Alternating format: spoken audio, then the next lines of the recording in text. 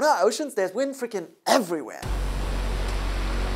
Renewable energy ready to harvest. But we couldn't build the right turbines until now. These turbines float on the surface of the ocean. They could deliver 11 times more energy than everyone on the planet needs. Energy crisis solved, fantastic, but does this new shiny piece of technology live up to its promises?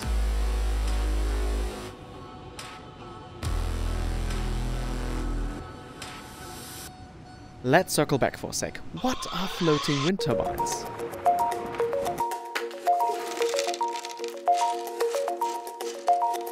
Usually offshore wind energy looks like this. You take a wind turbine, hammer it into the ground, and you're good to go. Not so much with floaters. As the name suggests, they float on the surface of the water. And let me tell you, even models of them are quite hard to build.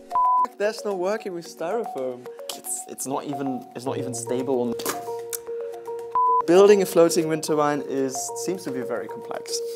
Let's give it a try. oh. We have achieved floating! In real life, what makes the floating possible are these gigantic structures below the turbine. They can weigh anything between 2,000 and 8,000 tons. The spar and the semi-submersible structure are the most popular right now. They are used in the two biggest floating wind parks, Kincardine and Tampen. To make them float, much of the, the platform also consists of voids because we need to have a certain amount of buoyancy. This is Aaron Smith from Principle Power. They built the first large-scale floating wind park. You have quite a, a large volume of, of air that's contained within these structures. You're getting them to, to float, right? It's the same as with ships. Thanks to the air in their hull and their volume, ships displace more water than they weigh, so they float because the displaced water pushes them up. But keeping the turbine above water is just one piece of the puzzle. The other major challenge, keeping the whole thing from tipping over. The problem with a wind turbine as high as 253 meters, that's three times the Statue of Liberty, is that the center of gravity is pretty high. Then you have the wind pushing against it, which makes it tilt. And down low you got the waves that destabilize the whole thing even further. Let's see how Principle Power solved this. Their three-column structure can vary in width to stabilize it in unsettling waters, but also has another balancing system. We refer to as a hull trim system. That basically has um, a system to shift water between the columns in the platform. And what that does is it counteracts these big forces from the wind turbine rotor and allows uh, the platform center of gravity to be vertical. So we keep the trim of the platform uh, at vertical, and that allows us to maximize energy production. This makes the structure stable enough to even withstand 15 meter waves and hurricane force storms. On a very basic level, this also works with a water bottle. When you put it onto the water, it floats, but not very stable or anything like that, like it twists and turns and all that kind of stuff. Now, when you put a bit of water into it, that completely changes. So it's getting a bit more stable, but not super stable. Now when you add something heavier, like these stones for example, you create the perfect floating bottle. So let's put this to the test. Ta-da! Perfect floating bottle. Even with waves. So this one is stabilized by ballast, just like Equinor's Spar system. The semi-submersibles are stabilized by width and water. Other systems, like the tension leg platform, are stabilized by mooring lines that are connected to the anchor and pull the platform down. But all of these structures are anchored to the seabed to keep them in place. And the fact that we can now make wind turbines float is a really, really big deal. The reason why is in these two maps. The first one, really strong offshore wind zones. The second, water depth in coastal regions.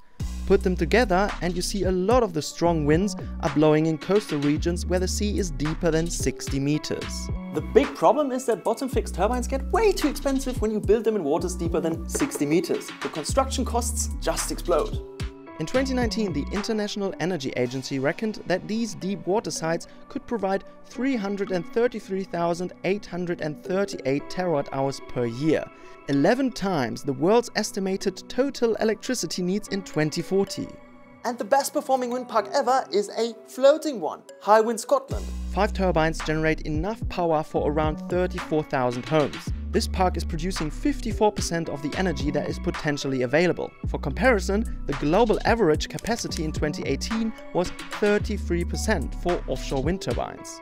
In early 2023, there were 12 floating wind parks in the world. Combined capacity 199 megawatts, which is tiny. The biggest projects are being developed in the territorial waters of Europe, the US and East Asia. But like with every new shiny piece of technology, there are a few drawbacks. First, the costs. Generating electricity with floating turbines cost almost twice as much as bottom-fixed structures in 2023. So despite higher efficiency, it's more expensive. The turbine and substructure account for 50%, and operating costs increase the further out you go. If you try to concentrate that all and spread it over a small number of turbines, it, it really um, can, can appear quite expensive. But as soon as you start deploying more and more turbines, um, then you can really levelize out some of those costs. And for us, that is the biggest source of the near term reduction that, that we see. The amount of engineering that we do for a five turbine project is almost exactly the same as the amount of engineering that we do for a 100 turbine project. So by scaling, the production costs could decrease. There has been a similar development in the bottom fixed offshore sector. Another uncertainty is the direct environmental impact on these guys, for example. Because there aren't many floating farms out there, the data is very limited. We ended up taking a different approach and reviewing the literature available on the environmental effects of analogous technologies such as land-based wind, um, fixed bottom offshore wind, floating oil and gas. This is Hayley Farr. She and her team reviewed 89 studies to help understand the environmental impact of floating wind turbines. A lot of the effects from fixed bottom offshore winds, from land-based offshore winds, and from floating offshore wind will be very similar. The, the change is really where those turbines are located, which animals are around those turbines, which habitats are potentially sensitive around those turbines. So there's a lot of considerations around electromagnetic fields, around collision risk for birds and bats that will be very similar across those industries. But there's one big difference to bottom fixed turbines, the mooring lines, which can catch underwater debris and subsequently entangle marine animals. An unlikely event, but there's another problem attached to the lines.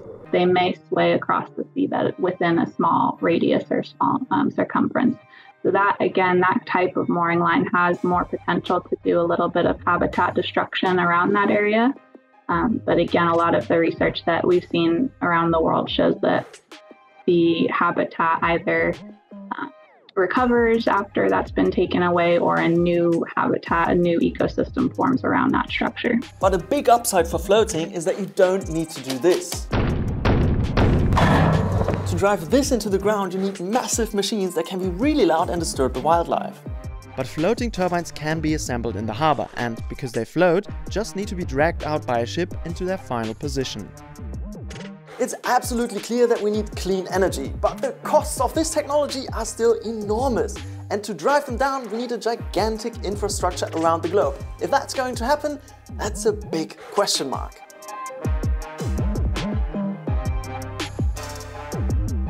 If you did like the video and my craftsmanship, please like the video, share it and subscribe to our channel. We post new videos on the environment every Friday.